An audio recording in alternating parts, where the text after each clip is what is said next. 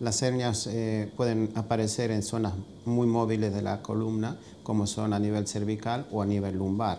A nivel dorsal también, a nivel dorsal también tenemos hernias, pero como está la caja torácica, eh, tiene una mayor eh, fortaleza. Aquí podemos ver, este es un cuerpo vertebral, el disco y el otro cuerpo vertebral. Aquí tenemos lo que es el cordón medular, la raíz nerviosa.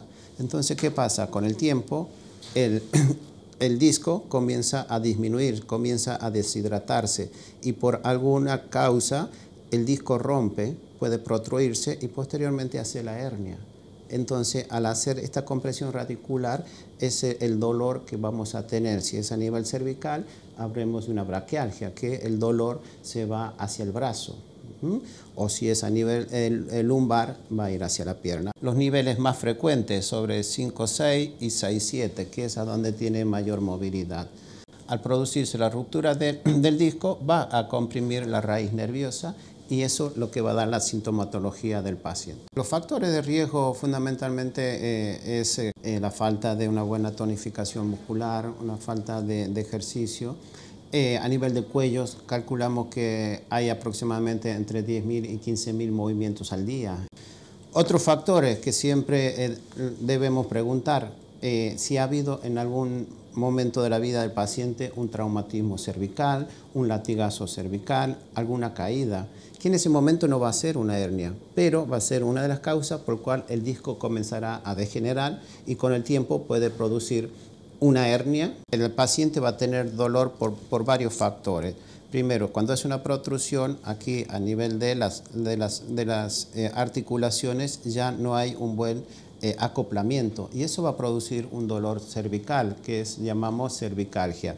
Cuando hay compresión de la raíz ya estamos hablando que va a dar dolor irradiado eh, hacia, hacia el brazo. Fundamentalmente primero es la valoración clínica que tenemos que hacer de los pacientes, ¿no? pero ¿quién va a definir el diagnóstico exacto de lo que tiene este paciente? Es la resonancia magnética eh, cervical en este caso. No todas las hernias se operan aquí está la gran confusión que tiene la población. Es decir, te llegan a la consulta y me han dicho que tengo tres hernias.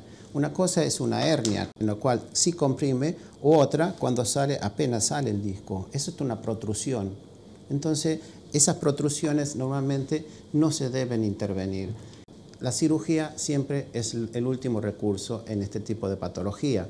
Primero hay que por lo menos unas cuatro a seis semanas hay que hacer tratamiento analgésico, fisioterapia, intentar que el paciente no vaya al quirófano, salvo que hablemos de algo agudo, como dije, una compresión medular o un dolor intenso en el brazo que, que no, no mejora o hay pérdida de fuerza y pérdida de sensibilidad. Ese es el paciente quirúrgico. Eh, la gran pregunta de la gente, ¿por dónde aborda, doctor? ¿Por delante o por detrás? ¿no? Es decir, el abordaje de este tipo de hernia se haga por vía anterior, decir, por la parte anterolateral de cuello.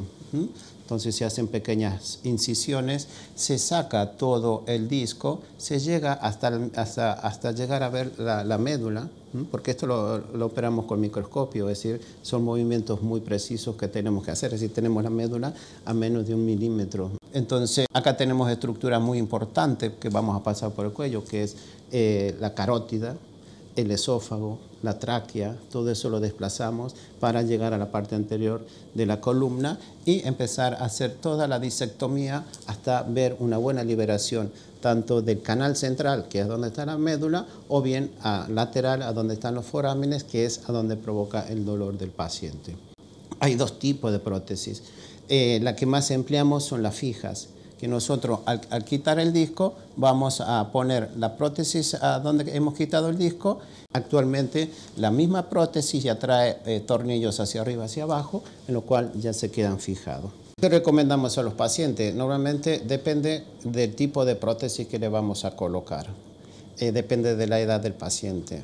Entonces, si vamos a poner una prótesis fija a donde nosotros necesitamos que haya una fusión, es decir, que la, la, prótesis integre y que haga crecimiento óseo, intentamos que use el collarín por lo menos un mes. Si algo, algo quieres que se fusione o se pegue, no tienes que mover, intentamos que no muevan el cuello, que no roten el cuello, que usen el collarín, eh, que hagan vida normal. siempre con la restricción de saber que estás operado, que te tienes que cuidar.